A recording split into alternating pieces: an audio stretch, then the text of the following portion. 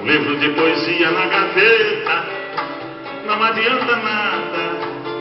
Lugar de poesia na calçada, lugar de quadro na exposição, lugar de música é no rádio, ator se vê no palco e na televisão, o peixe é no mar, lugar de samba enreda no asfalto.